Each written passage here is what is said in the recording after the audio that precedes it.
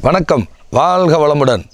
அன்பர்களே கோவையிலிருந்து நான் உங்கள் பண்டிட் விஜய். எங்களுடைய ஸ்ரீ ஜோதிட பீடத்தின் சார்பாகவும் என்னுடைய சார்பாகவும் அனைவருக்கும் இனிய புத்தாண்டு நல்வாழ்த்துக்கள். நிறைய ஜோதிடம் சார்ந்த சித்தாந்தங்களை பதிவிட்டு கொண்டு வருகிறோம். புது புது விஷயமான பரிகாரங்களை சொல்லிக்கிட்டு வர்றோம். இப்போ இந்த கர்மாவை பற்றி இது வரைக்கும் நான் என்னுடைய இந்த நிகழ்ச்சியில் நான் பதிவிடலை. இந்த கர்மானா என்ன? அது என்னென்ன மாதிரிலாம் விஷயங்களை பாதிக்குது அப்படிங்கிறத பற்றி இப்போ நம்ம பார்க்க போகிறோம் உதாரணமாக லக்னத்தில் சனி இருந்தால் நாலாம் இடத்தில் சனி இருந்தால் ஏழாம் இடத்தில் சனி இருந்தால் பத்தாம் இடத்தில் சனி இருந்தால் கர்ம யோக ஜாதகம்.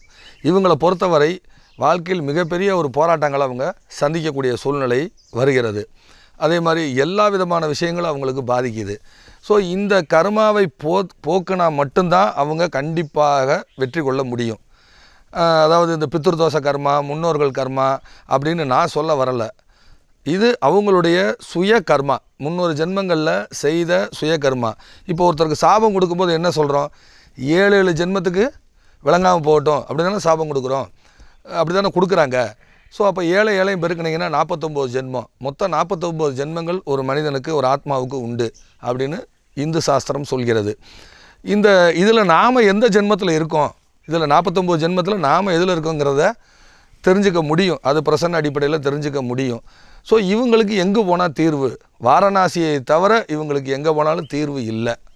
ஸோ வாரணாசியில் போய் அவங்க சில விஷயங்களை செய்து கொள்ளும் பொழுது அதாவது அலகாபாத் திருவேணி சங்கமம் வாரணாசி அது மட்டும் இல்லாமல் கயா இந்த மூணு இடங்களில் போய் தான் அவங்க தீர்வை தேடிக்கொள்ள முடியும்.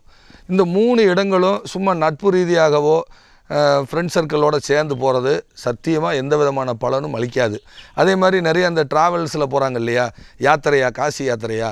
அதுவும் பலன் அளிக்காது. இவங்க என்னைக்கு போகணும்? எந்த கிழமையில் அங்கே அங்கே இருக்கணும்? எல்லாமே நிறைய ஸ்நானம் தான் அதிகமாக இருக்கும். என்னென்ன தானம் பண்ணணும்? தானம் பண்ணுனா அந்த கோயிலை உதாரணமாக அன்னபூரணியை தரிசனம் பண்ணிவிட்டு வெளியில் வரும் பொழுது என்ன சம்பவம் நடக்குங்கிற வரைக்கும் சொல்லிடுறோம். உதாரணமாக அன்னபூரணியை பார்த்துட்டு வெளியில் வரும் பொழுது யாராவது உங்ககிட்ட பேனா கேட்பாங்க. எழுதுறதுக்காக கையில் ஒரு பேப்பர் வச்சுக்கிட்டு பேனா கேட்பாங்க. ஸோ இந்த மாதிரியான சம்பவங்கள்லாம் நடக்கும் அப்படிங்கிறது முன்னக்கூடியே சொல்கிறோம் ஸோ இந்த மாதிரி செஞ்சு வெற்றி அடைந்தவர்கள் உண்டு. அதனால் கர்மாவை பற்றி தயவு செஞ்சு யாரும் பயப்பட வேண்டாம். நீங்கள் உங்கள் ஜாதகங்களில் அந்த மாதிரி இருந்தால் உங்களுக்கு தெரிந்த ஜோதிட நண்பர்கள்ட்டையும் இதை கேட்டுக்கலாம். இல்லை எங்களோட தொடர்பு கொண்டு எங்ககிட்ட அப்பாயின்மெண்ட் வாங்கிட்டு ஸோ எங்ககிட்ட ஜாதகம் பார்த்து என்னென்ன தேதியில் நீங்கள் டிக்கெட் போட்டு எந்தெந்த தேதியில் போகணும் வரணுங்கிற தகவல்களை உங்களுக்கு சொல்லிடுவோம் மீண்டும் நல்ல ஒரு சூழலில் சந்திக்க விரும்பும் நான் உங்கள் பண்டிட் விஜய். வணக்கம். வாழ்க வளமுடன்.